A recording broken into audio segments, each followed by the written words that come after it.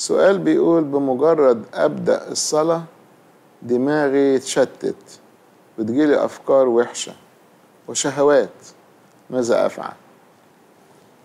أرجو لما نيجي نصلي خصوصا الإنسان اللي هو سريع التشتت إن إحنا نمسك في إيدينا الإيجابية أو كتاب الصلاة أي نوع إذا كان بصلمودية ولا خلاج ولا غيره يعني قداس يعني أنا في كنيسة أو في مخدعي أمسك في إيدي كتاب الصلاة وعينيا على الكلمات وفمي بيتلو وأذني بتسمعني فانشغال الحواس تخلي الإنسان يركز.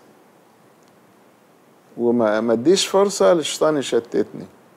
لو أنت في غرفتك الخاصة ممكن مفيش مانع وأنا بصلي أتحرك. يعني كأني بتكلم أنا بتمشى مع المسيح وبكلمه.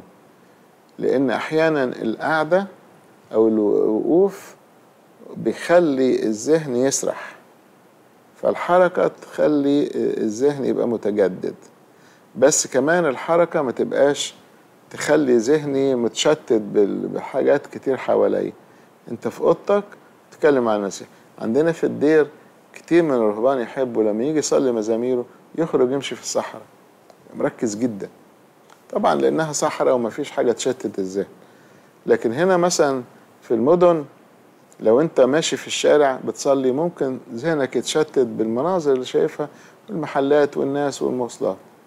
لكن لازم يبقى في نوع من التركيز بأي صورة علشان تستفيد بالصلاة